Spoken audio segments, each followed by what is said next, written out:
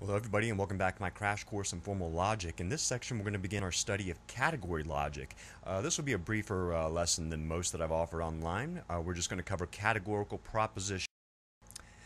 Now, Aristotle is the person credited with inventing the discipline of logic. He did that way back in the 4th century BC. Pretty impressive. But he thought the proper uh, subject for logic to examine was categories and their relations to one another. That's not an uncontroversial claim, but it motivates uh, a lot of his other philosophy that I'll have to uh, present on in other video lectures. So a categorical proposition is a proposition that relates two categories or classes indicating how they do or don't share members. For example, if somebody says professional athletes eat healthy diets, there's two classes involved here, professional athletes and those who eat healthy diets. I'll return to this example later. Or, for example, skateboarders are not allowed on public sidewalks. Well, you got skateboarders on the one hand, and you have persons not allowed on public sidewalks on the other. Again, there are two classes or categories being mentioned. Or to give another example, one of my computers is malfunctioning. Well, you got a kind of small category, your computers, and malfunctioning things. Again, two classes or categories in each case. Or, not every rainbow has a pot of gold. Sad but true.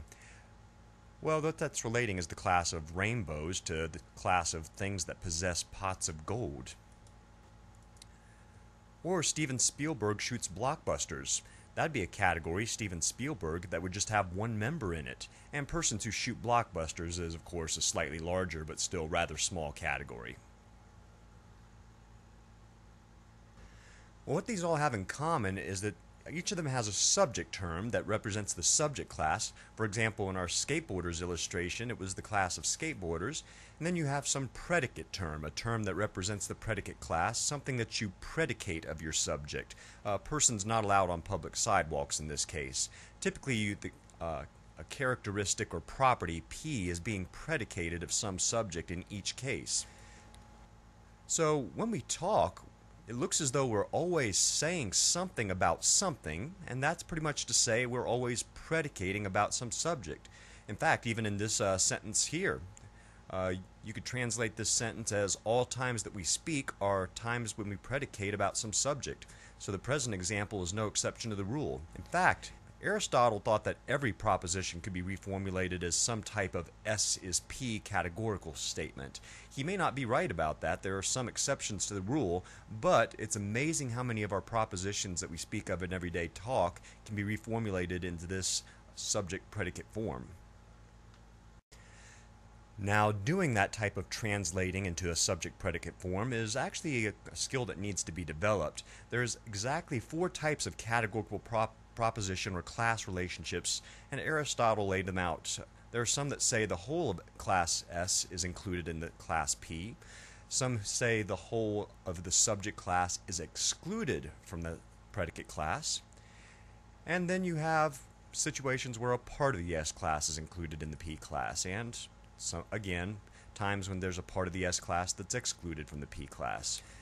So when we looked at uh, our example involving athletes, we saw a case in which the whole S class was being included in the P class. The person clearly wanted to say that when it comes to athletes and uh, healthy eaters, all the athletes are in the category of healthy eaters. We'll just block out this uh, little section in the red to illustrate that fact.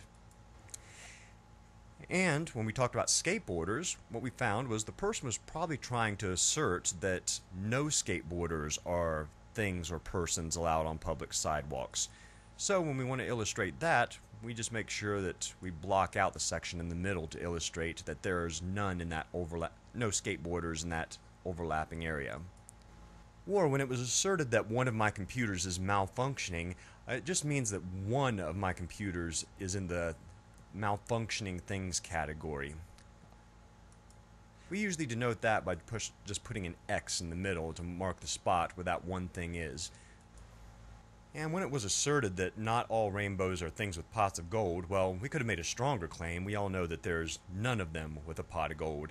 But that proposition asserts that there's at least one rainbow that's a thing without a pot of gold. And uh, since I want to illustrate this properly, I better get that out of pot the picture here, right? we usually illustrate that fact or that proposition with an X in the rainbow circle as well. So we need to say a little bit about standard form. A standard form is a proposition that expresses one of these four relationships well with complete clarity. For example, it's going to be a substance uh, substitution instance of either all S or P, no S or P, some S or P, and some S are not P. So by way of contrast, all S are not P is not a statement in standard form because it lacks the clarity that these four crystal clear propositions have. So it could be translated as no S or P and alternatively as some S are not P. For example, all prisoners are not sad and all prisoners are not free. Now notice that has the form all are not in both cases. But in the first example, all prisoners are not sad, that just means that some prisoners are not sad. If somebody says all prisoners are not free, well, that means all prisoners lack uh, the property of freedom. None of them are free. So notice again, this uh, form does not have the crystal clarity that the four examples we saw previously enjoys. So we need to talk a little bit more about these standard forms. Now these four examples are the only ones that we're going to do uh, use in this section on categorical logic in this class. But let's take the components here. First, you have quantifiers. That's probably the most noticeable thing. All, no, or some uh, denotes how much of the subject class that you're going to be talking about. And it tells you how much of the subject class is included in the predicate class. And the copula, well, that's really just a functional uh, term. It's just linking up the subject and predicate class.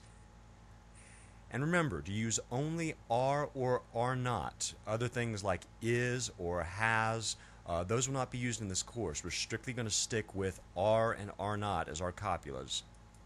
So let's try an example. Suppose somebody says all persons in the rock band U2 are persons capable of playing bass, bass guitar. You can divide this up into our crystal clear standard form really easily. The quantifier is going to be all, and the subject term is going to be members of U2. The copula is are, and the predicate term, persons capable of playing guitar or rather playing the bass guitar. I need to be more clear. And when I point out these uh, terms and highlight them in different colors, you can easily see how this sentence is divided up into all the elements that we just discussed. So going back to the examples that we used earlier, somebody says uh, professional athletes eat healthy diets. What they probably intend to say is that all professional athletes are persons who eat healthy diets. The quantifier is going to be all, the subject term would be professional athletes. The copula are, and predicate term persons who eat healthy diets. You have to do a little translating to get to this point, but it's, uh, it's a talent that develops with time. Or if somebody says no skateboarders or persons allowed in public parks, uh, well, that's the proper standard form translation of skateboarders are not allowed in public park on public sidewalks rather. This example, I'll just highlight those uh, terms where they show up in the sentence.